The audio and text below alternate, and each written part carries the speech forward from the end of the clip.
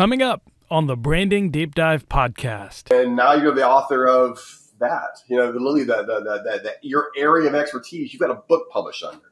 Uh, there mm. not a better way of getting on the stage. There isn't a better way of being interviewed. There's a better way of getting the next job, director position, C level exec, than writing the book to begin with.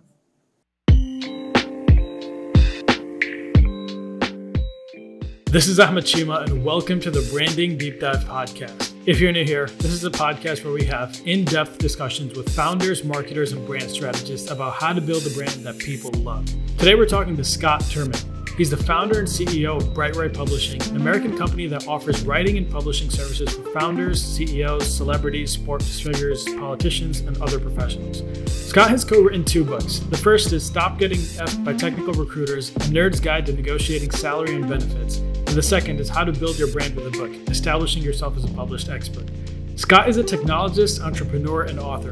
Prior to founding BrightRay Publishing, he wrote code and cryptographic systems for organizations like NASA, the U.S. Department of Defense, Disney, and other Fortune 500s. In this episode, we dive deep into how writing a book can give your personal brand a huge lift, what to write about, how to leverage your book to get the opportunities you want, and much, much more. If people are always telling you that you need to write a book, this episode is a must listen. Now, here's Scott.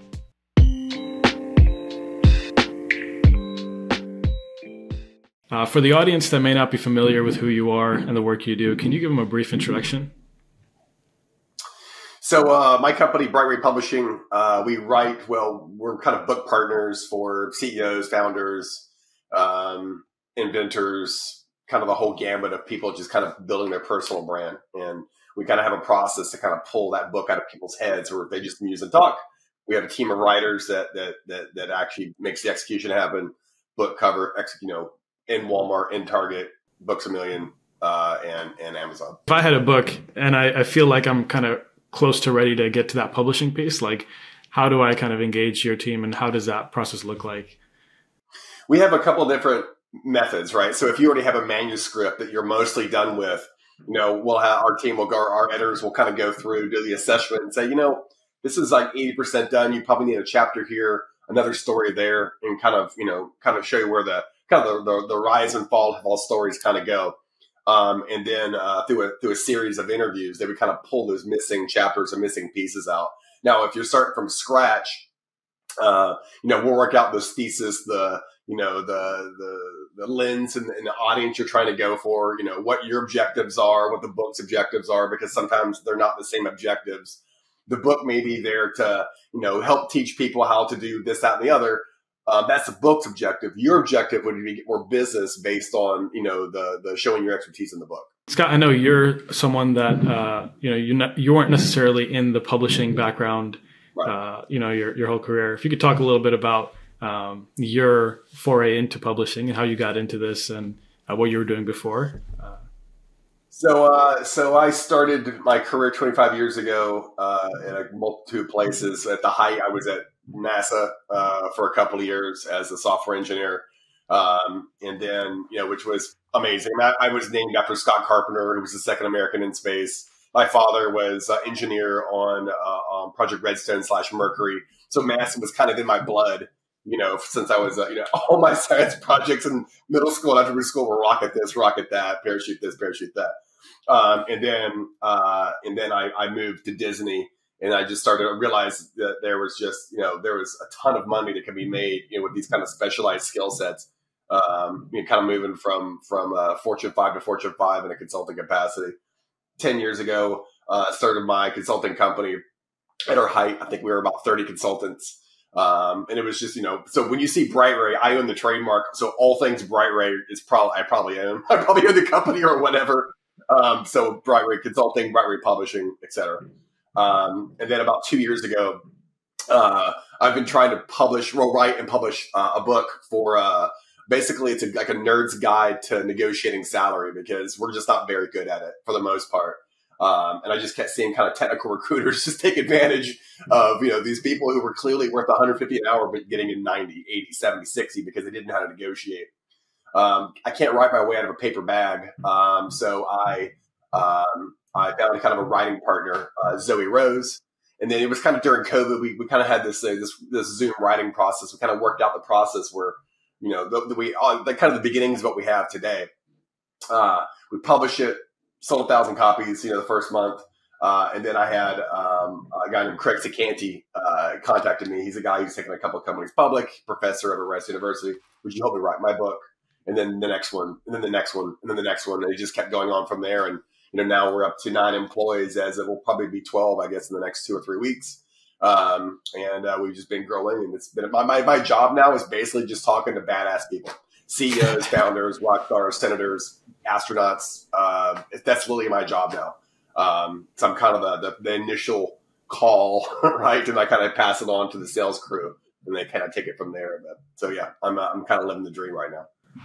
That's awesome. Scott, let me ask you this. Um, you know, you mentioned you sold a thousand copies in your first month. It, I'm assuming that's not something that's normal when you write a book. Uh, when it, when it comes to actually writing a book and distribution and make you know pushing it, uh, are there any best practices or uh, strategies you can share without? I mean, uh, I'm sure you it probably share that with your clients. Right, but it depends. So if, if let's say that you have zero following, I think I had 14 or 15,000 people following me on on LinkedIn. I had I, but actual but actual like minded nerdy individuals. You know, I, I had already had kind of a base following. So when I published, it was easy to go sell that many books um, because of kind of who the, the, relationships I had, the companies I'd been to. I could go leverage this person, that person, you know, that could help me push it out more. And no, that's not that's not average. Uh, you know, if you're if you're going into this to, to sell more to sell a ton of books, then you should do something else. This is not what that's for. This is this is uh, this is for uh, you know if you have a consulting company and you're you want to you want to, you know, you FedEx the book out to them basically before you do the sales call, you're going to close your sales call as an example, or you're trying to build your brand kind of as the, the foundation to your expertise, your brand. This is how it's done. That's what it's used for. It's a vector. It's a vector into uh, these podcasts, right? It's a vector into a TV shows. It's a vector into. I have a story a, a couple of months ago. Somehow I wound up on like national Turkish television, right? um, and it was all because I written the book. It was all because it was all a, it was all kind of the beginning of this whole kind of brand. And that was one of those situations. If you go look it up, um, in my defense, okay, when you look it up, uh, that was one of those like you know, I was like, oh yeah, I'd love to interview. Let's do this. And you know, I get on, I get on the call, it's like, and I hear this kind of uh, very strong, kind of Turkish uh, English accent. He goes, okay, lower, left, Right. Okay, you're live in three, two, one, boom, and then and now I'm literally on like I'm like there's a huge monitor in front of me. all the you know, there's I can see you know the guy, the interviewer, and it was is bonkers. Um, so so yeah, you can kind of you know kind of shoehorn yourself into it. So many many different places, but ultimately it's a it's an example of your expertise. You know, it's an example of how you build your brand. Someone that doesn't have a following uh, would you recommend trying to focus on building that following first, or uh, is the book something that can help you, uh, you know, establish that following? Like, uh, what what comes first is what I would ask. Right, chicken and egg. So the the, the I'd say sixty or seventy percent of the people that we that we write or help write and publish for, you know, they they are they are they they typically a lot of them are already kind of wealthy, famous individuals who are basically just trying to elevate, you know, beyond, above and beyond their bubble. Now, if you're starting from scratch, uh, you do know enough people. You just don't know it. If you were to think really hard, everybody knows between 10 and 100 people that they can make a list on Google Sheets. Contact them individually, get their email, and then only ask them, hey, I'm getting ready to publish a book. I need your support. What I mean by that is, would you mind buying it? and then commenting on it because that's that's a you know and, and, kind of star rating it on Amazon is that's kind of the basis of, of the algorithm on Amazon. You've got about seven days, you know, to sell uh, enough books to kind of make it in those top you know, echelons where Amazon starts pump, pumping your book for you, and then kind of spiral into a good thing. Uh, you know, we set up, uh, we, we kind of help every, and that's the thing. If you start from scratch, you know, we actually help you get that part done. We'll actually go brainstorm and go figure out who you know, go create the newsletter for you and then, hey, I'm publishing in one month, three weeks, one week, one day, tomorrow, boom. And then you kind of have the people you, the small people you do know, pump it everywhere, and then you can kind of slowly grow your, grow your brand that way. You know, ultimately, if you sell 50 to 100 books, awesome. You're, you're probably number one in a couple different categories on Amazon. You can make hay with that on Twitter, make hay with that on LinkedIn. But ultimately, it's it's you're now a published author with with the sum total of your expertise that you can now go kind of lever into uh, consulting gigs or whatever it is that you're trying to accomplish with it. It sounds like you're saying that you know the majority of the money that you make is not actually from the book. Uh, I, know you mentioned one of the routes is consulting, another route is uh, uh, like you know just speaking gigs and stuff like that. What are what are kind of some of the most common ways you see authors that how do they end up using the authority uh, and influence that comes with having uh, you know a, a, being a published author? Yeah, it's it's really a matter of uh, it's it, it is influence, right? It is when someone goes to, for instance, if you look me up, Scott Turman. If you get a chance, look me up, Scott Turman on Google, right? And then you'll see that Google kind of separates me out with a knowledge panel. I really, it's almost like uh, type in Bill Gates. He has exactly the same knowledge panel. I'm not equating myself to Bill Gates, but I'm just saying Google presents us in a similar way. Um, so, uh, and it's it's my opinion that when Google does that and you own those top 50 spots, you've already won the brand game. Meaning that if someone has heard of what who you are, it's going to go look at who you what you do, and Google presents you that way. And it's it's in a way that you can control picture, description, LinkedIn, Facebook, all those things kind of agree. You've won. Um, they're gonna. I mean, they're they're literally gonna see that go. Oh my god! So Google, that's interesting. How they, you know, kind of the appeal to authority, right? With the the fallacy of, but you're appealing to Google's authority that you know that that that this person has this expertise. Look, Google shows them this way as an example, um, and that that's the that's one of the greatest. That, that's one of the biggest things that happens because that almost immediately happens if you do it correctly when you publish a book. That almost immediately happens that you're an author. Google presents you such a way. You know, you've actually got to. I mean, sometimes if you've got a very common name, um, you know, you're going to have to kind of work at it. But most of the time, you know, you or I have fairly unique names. We can we can we can make that happen pretty quickly. So you're saying once you publish a book and Google recognizes that this book is from you, it gives yep. you that knowledge panel piece. And so when people are searching, even if they think you're just a normal person, then they're going to start associating you with, oh, this person, like, he must be legit because Google's given him a special panel. That's pretty cool. I, I, I, didn't know about that. But yeah, um, it's uh, and, and I mean the other way to get it is to go get a Wikipedia page, right? But it's a chicken before the egg, right? So Wikipedia isn't going to give you a page or the uh, until you've been in like three to five primary sources where the article is primarily about you, like the Wall Street Journal, Inc. magazine, and then and then go or uh, Wikipedia's like, okay, well, we'll, we'll allow Scott Turman's Wikipedia page to pop up. Uh, that's a hard road to row. You're already famous at that point. This is a, this is a little easier, kind of a backdoor way of doing it. Um, like if you also if you, if you type in you know Scott Turman and go to Google News, you'll see that I'm in Inc. I'm in Wall Street Journal, I'm in Forbes, I'm in a bunch of different places. That all happened because I was able, I because I, I was leveraging my book to do that. I was leveraging the book to get in there, to go get the quotes, to go get the interviews. Um, before I had published, no one would take me seriously. I, mean, I had I had a pretty good career. I'd, I've accomplished a couple things here, but no one, no, no, no reporter would ever take me seriously until they saw that I was an author. I wouldn't even get the interview, and it would go from you know, 10 requests, I would put in, you know, I would respond to 10 different requests and I would get maybe one person, one reporter going, who are you? And then now I respond back. And if I have 10 requests, I'll, I'll respond back and get five or six quotes from five or six different places because I really put google.com question mark Scott plus Turman, showing them my knowledge panel. And that typically, that, uh, uh, you know, okay, well, at the very minimum, it's a it's a dispensable position to my boss that he's well known enough in this industry that Google presents him this way. It's this really weird circle of firing squad. where Everything's kind of pointing to each other, you know? I had no idea about knowledge panels. Uh, I'm learning about this for the first time. So there's a guy named Jason Barnard.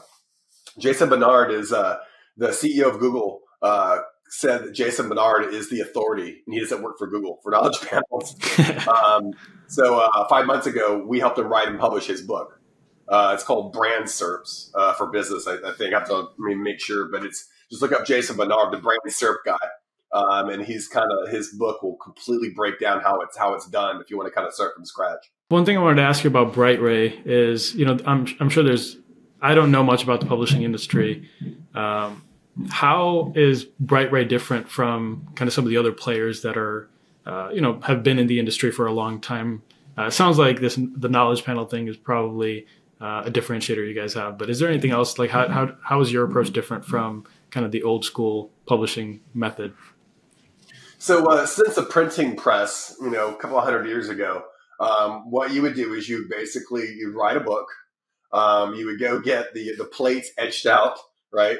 And then uh, and then you go to a printer, and they would print your book, and then they would bound the book, and then here's your book. You know, it's here's a you know thirty farthing or whatever to get your book printed. Um, and then if you wanted to make money, typically you would go to a publisher and they would buy the rights, the copyright to your work. They pay you for it, and then they go print as many copies as they want, right? Um, that that hadn't really. I mean, you look at the Simon Schusters of the world, the kind of the large publishing houses.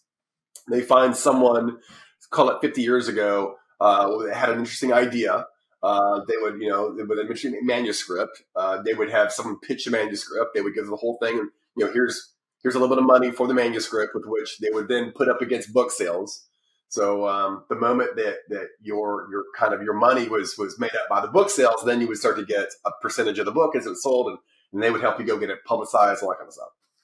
Today, they do not do anything unless you already have a following. They are not going to publish your book. I promise. I promise. They'll they'll take a chance here and there, but they're not going to mean unless they have a sure thing, a, a hit.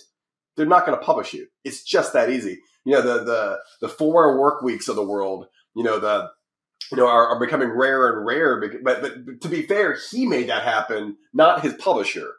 Uh, and that's kind of the thing. And plus, he had to write the manuscript, and he had to kind of all those things that a lot of people aren't really good at. What we do is we develop that manuscript with you, that concept, you know, the that cover, all the things that go along with the, you know, the, the lens with which you're actually, you know, the, the people you're trying to sell this to, you're trying to basically, you know, have put that trust in you. Whereas you know, traditional is like, okay, where's your manuscript? We'll put it through an editor and you're done. Boom, boom. I hope you have a following. We will help you develop the following. We'll help you develop the book. We'll help you get it published. Well, we will publish it. Um, and that's that's the biggest difference. And then there's there's all these kind of ancillary things that we can kind of help you with with PR and you know getting placements in uh, in different magazines, you know, kind of the Inc. magazines or the Entrepreneur.coms of the world uh, uh, to kind of help promote you and that book. Whereas most publishers, they no, you better have the following already. It sounds like you know someone like me, uh, if I'm trying to build a book, really, it doesn't make sense to go to the traditional publishing route at all because they're not even gonna give me the time of day. So uh, let's you know even if they do, that. let's pretend they do, um, and then that you can't guarantee book sales, right? They're literally going to probably make you buy ten thousand books as part of that deal, right? Which oh, basically man. nils out their costs.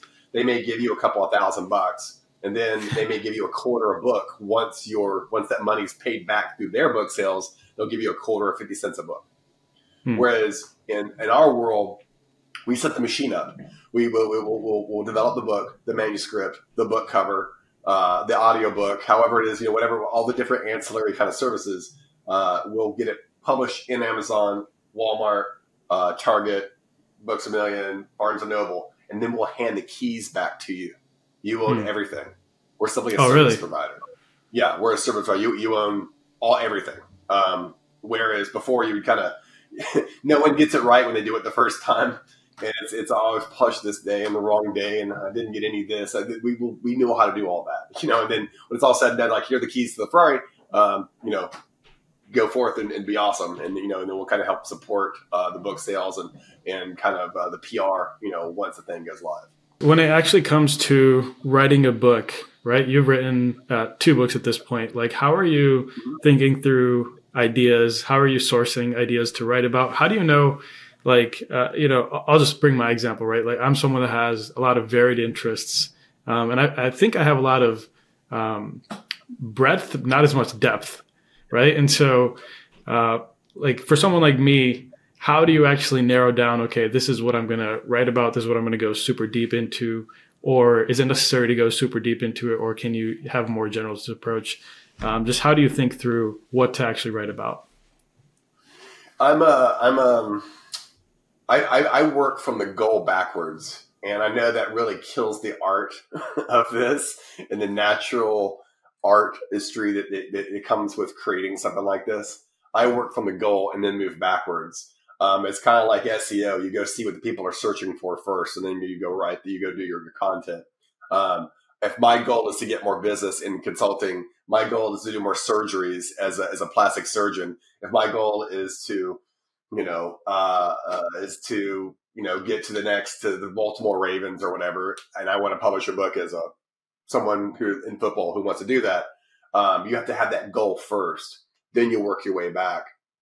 uh, if it's you know if it's uh, if it's making you know uh, you know if it's some kind of like maybe you're the CEO of a software software service like a SaaS product of some sort um, that leverages the Google Cloud. I'm sorry, Amazon Cloud, AWS, right? Only AWS. Um, you know, you kind of work your way back. You kind of you know here's why you should trust me. Here's the problem. Here's the solution. It's kind of that hero's journey, right? It's uh, the Iliad, the Odyssey, Homer's kind of journey through you know the hero's tale. Um, and but you start with what the goal is, and if the goal is to get more business, the goal is to move your notoriety up. Well, then that's what you're right about. Uh, now, uh, some people will tell you not to give all the secrets away, right? If you're in a marketing company or and you're going to write a book, you don't, you know, some people would say, well, I don't want to give all my the, the secret sauce away in the book. Um, here's the thing: people are going to read this book uh, and they're going to think, wow, what a giant pain in the butt. I think I'll just hire you to go do it. This is an example of expertise. Um, you know, as people come in, uh, as we have our our calls come in, the final kind of part of our sales process is we'll FedEx a book, you know, on you know how to build a brand with a book, you know, to our clients, um, and then we'll send them one of these too. And I don't know if this is a video uh, podcast, but hopefully it is. What we've done, we've sewn in a, a, a a, screen into a card, and then we pitch. We pitch the actual book process, you know, with a copy of the actual book. Um, and this is how I, this is how my consulting company, this is how we would get our, our contracts. Is I would, I would FedEx these to CEOs of, you know, of of larger organizations to go get that first meeting. And then I, you know, realized that the book is way easier to put the two together and you can go crush it. That's a, I mean, as an aside, I think that's a really good like branding point right there. Is uh, sending your book and that video pitch is yeah. something that I doubt 99% of other people are doing. So like a really good way to stick out in the mind of your, uh, you know, potential customers is to do that piece, right? Like, no, I mean, all the focus is on yes, like, but if I'm trying to get on CNN or Fox News or MSNBC, this this this video and that book, what a great way to send to the editor. What a, mm. what a what a mm. fantastic way to shoehorn your way as an expert into whatever it is you're trying to get on. Um, you know, the, the book is the is simply the start. You know, everything else is in how you do it and how you use it is really the book is fifteen percent. The rest mm. is all how you use it and how you leverage it. You know, it's um, you know, it's it's uh, we we probably send out fifty or sixty books a week, right? Um, and, and, that's how we get the, we said, look, here's an example of, of, basically, here's literally our work, right? Here's an example of what we, our work. And really, here's an example of, our, of, of what we do. More importantly, here's how we do it. Uh, and it just, it helps build that trust for the final sale. Hmm. I love that. That was a, that's a, I think I'm going to steal that. Uh, once I oh, write sure. a book, I'll send you. I'll send you. There, there's a uh, there's a couple different manufacturers in China that we deal that make these uh, for mm-hmm. us and you probably get them for between 15 and 30, 15 and 30 bucks a piece wholesale. You'll have to buy a bazillion of them, but we did, you know, but, and, and, then now you kind of have these, these things that, you know, it's lithium ion battery. So when you FedEx it out, it's got to have lithium ion battery on the, you know, on the actual outside of it. But, uh, it's a fantastic way to, to jar someone into opening it up. Plus they sign for it. So when I would, so when I was at, when I was at NASA, right, I wanted to work I was at my dream job for sure, but you know, typically the, the, the technology curve at NASA is about three to four years behind, and that's a death nail for a career if, you, if you're in the wrong technology. So I knew that I wanted to go work for Disney, right? I wanted to open a contract at Disney. So uh, what I did was I FedExed my resume to the uh, to the leadership at Disney, uh, to the actual you know IT directors and the managing hiring but literally, I, so I, I FedEx it to them. I could see that they signed for it. Right. I know they opened it. I'd follow up with an email and then a phone call. Boom, got my contract. Mm. Um, it, it's kind of a sniper rifle, not a shotgun method, right? If, if, you're depending upon someone to help you do something where you could just take the, the kind of the initiative in your own hands, this is a fantastic way. FedEx, mail, no one uses mail for marketing anymore. It used to be the primary source for marketing 20 years ago. And now, would you get three pieces of mail today? Right? What if you got a FedEx? You'd stand out. You'd completely stand out. And if you're if you're the thing you're selling is is is, is costly enough, um, what's thirty bucks to make you know tens of thousands of dollars? It's nothing. Right. No, that's a, a really good perspective. Um, one thing I wanted to ask about the book writing process is like I know you mentioned that you know figure out what people are searching, what you can actually, you know, work backwards and what you're actually trying to do. Now, I think one of the concerns uh, people may have when writing a book, uh, and I think I definitely fall in this category, is like, I don't really have anything new to say, right? Like, yes, I have a certain expertise and I've, you know, developed a craft or whatever, but like, I learned it all from all these other places. And, uh, you know, what am I going to do putting it in a book? Why should I do it? So I want to get your thoughts on that. Well, let's, let's, let's talk about that for a second. So if you were writing a book to go further your career as an example, what would what would be that what would the if you were just going to strictly write on the nuts and bolts of what it is that you do what would it be about? Just just generally speaking we'll, we'll have to figure out exacts but just generally speaking. Uh like for for my career? Like uh yeah you know, project management or is it you know, yeah. space what is it? Uh, project management operations research uh, modeling stuff like that. Yeah operations research. What a great what a you know, it's a very nichey kind of topic there's probably 4,000 people in the world, right? Which is what you want. You don't want millions of people. Write a book for everybody, write a book for nobody, right? But write a book for, for people like you who have that, that one, you know, expertise in area they're constantly wanting to learn on. Great. So, uh, so, so you would basically write a book that would kind of, would, that would kind of take all these other books and knowledge that you've gained and then put your bent on them, right? Put your put your your your execution methods. What tools do you use? How do you use the tools? How do you string it together? What are the interpersonal relationships? All those things you have and you could absolutely write a book on for the other couple thousand people on the entire planet in your niche market. For sure. For sure you could write a book like that. Then you title it correctly. Uh, yeah, I, I, like to go with fairly inflammatory titles uh, that kind of jar people uh, but there's got to be a way to, you know, it's something 101 or the basics of this, or basically it could be a very drab title too. And now you're the author of that, you know, the literally the, the, the, the, your area of expertise, you've got a book published under. Uh, there mm-hmm. not a better way of getting on the stage. There isn't a better way of being interviewed. There's a better way of getting the next job, director position, C level exec than writing the book to begin with. Mm. Mm. That was a uh, motivated me to write a book. go, go. Go. and that's you know, there, there, and there's a couple of ways to go down that that path. You know, it's um, you know, if, if, I'll send you a copy of my book, and it'll kind of show you how to write the that kind of uh, uh, overview and then outline, and then kind of drill into you know how the thesis of different chapters and how they kind of run together. Um, it's a, uh, it's a, it's something that can absolutely be learned, but it's, it's the problem is it takes a couple of tries to get right. Um, mm-hmm. and that's where we, we typically come in.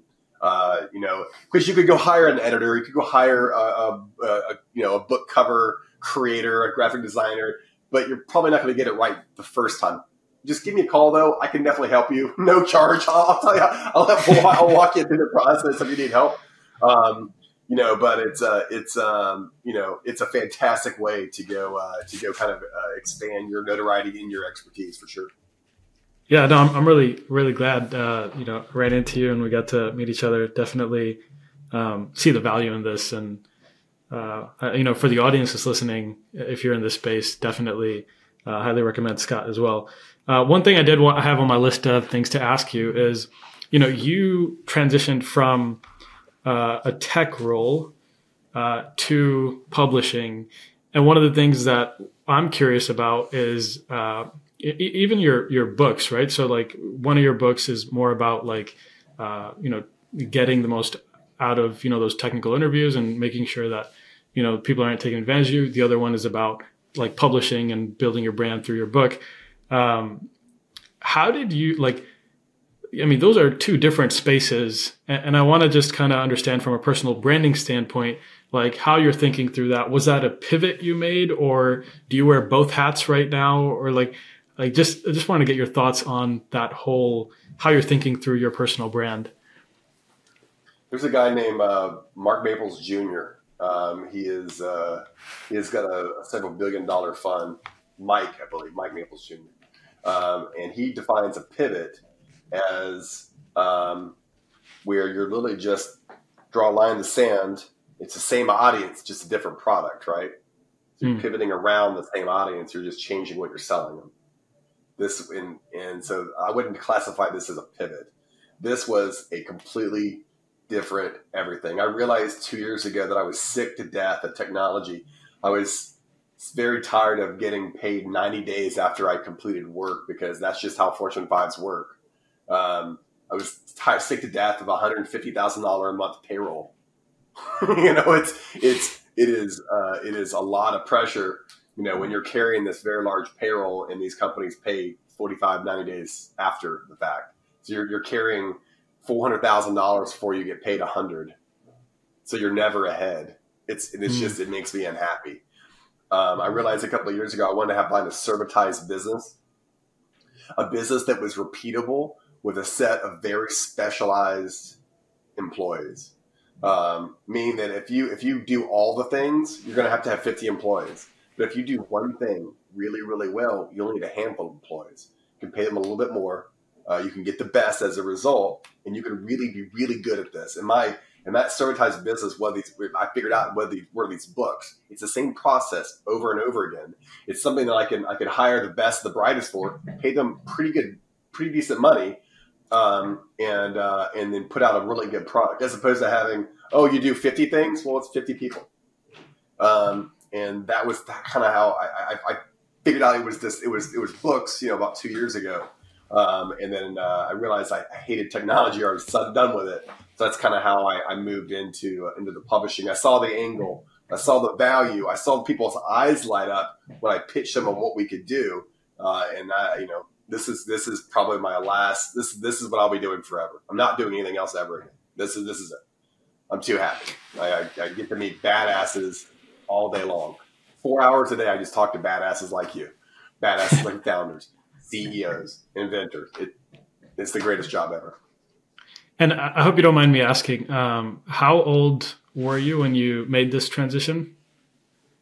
Uh, okay, so uh, I'm 48, so 46. Wow. Oh, okay. So, what do you say? Yeah. So, like, I, the the point I'm getting at is like it's it's never too late to right. shift. Yeah, for sure. And, that's the thing. So, and and that's the thing is that when you think about it, I did pivot ten years ago. I went from a uh, from a uh, from uh, I always call it I'm a very well I'm a technology prostitute right was just I was just basically prostituting my brain out you know, for the highest bidder, uh, you know, and I did that for, for, forever. The Department of Defense and, you know, different subcontractors and Disney and Fortune 50, 100, whatever. Um, and then I pivoted when I started my company 10 years ago. It's the same hmm. customer base, just a different angle, right? You're, you're going around it. Um, and I, you know, I was, you know, I was in my 30s when I did that. Um, but it took me a while to get enough experience for people to trust me to do that. And this is just the next evolution for the next thing.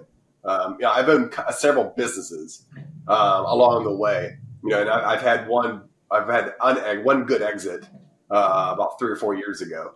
Um, so we're just we're just we're just we're doing the thing. I'm doing something I love, which is the marketing and the branding, and, and just talking to, to amazing people.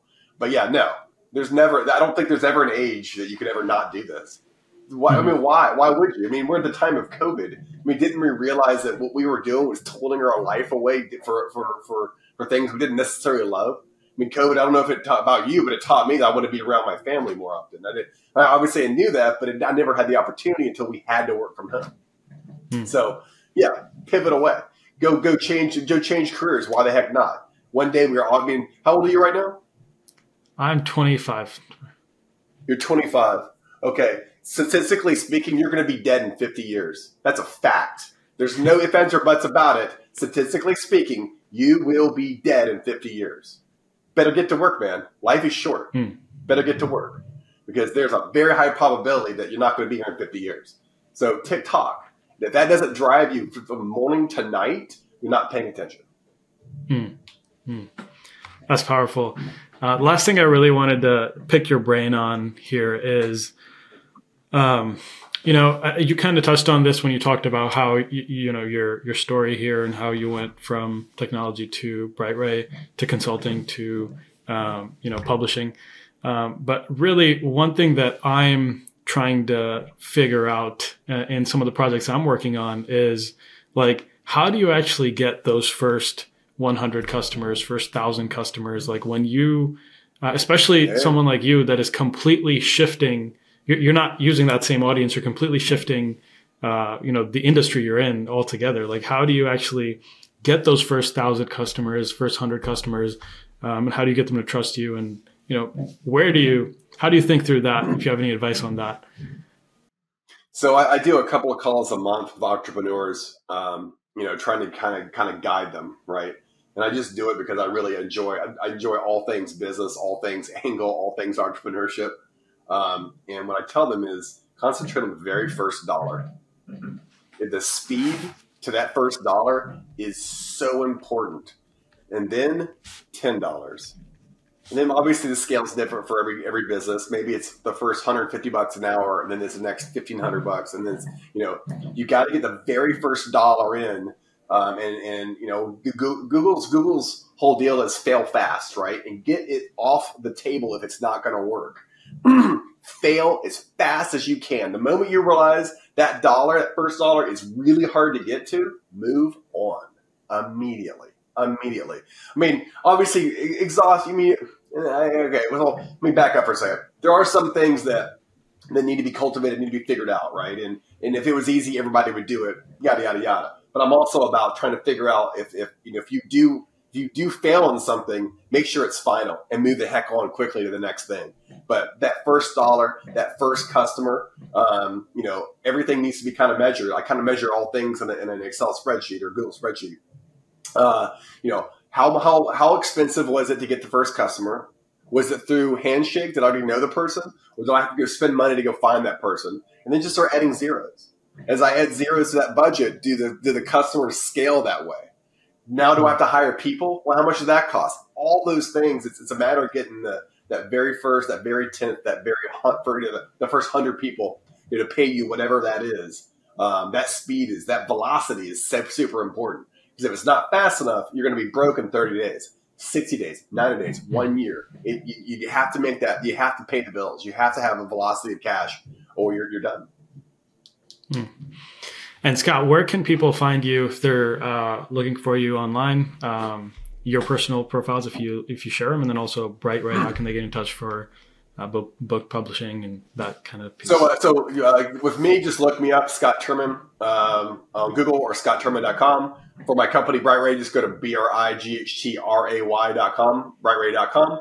Um, and uh, you can find us all the, you know, all the socials from, I mean, we have a, we, we finally hired a full-time person that does nothing but worry about, you know, social media. And it has been such a weight off my back. Not that I was awesome at it before because I wasn't. And that's the other thing. You got to hire for expertise. Uh, uh, so yeah, so just look us up, BrightRay, Bright Ray Publishing, uh, and we are we are we are in all the places. You'll find us. Awesome. Thank you so much, Scott. It's been a pleasure. It's nice meeting you.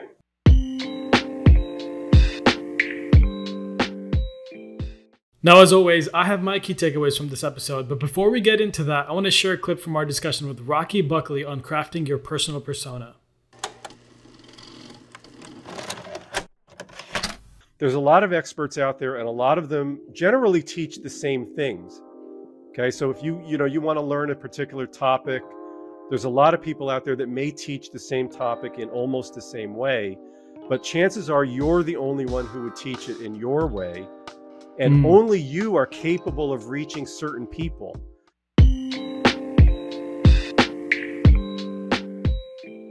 If you enjoyed this discussion with Scott, I am sure you'll also enjoy the episode with Rocky. Check it out wherever you're listening to this podcast. It is episode number 51. Now, here are my key takeaways. Number one, if you're an expert or have some specialized knowledge, writing a book is a great way to build authority in your market and to build your personal brand. And number two, the book is simply the start. The rest is how you leverage the book. Scott gave multiple examples of getting creative with using direct mail to get his book and pitch into the hands of reporters and people he wanted to work with. And that is all for this episode. If you enjoyed this discussion, the easiest way to help out is to leave a review and share with a friend. Thank you so much for listening. We'll see you next episode.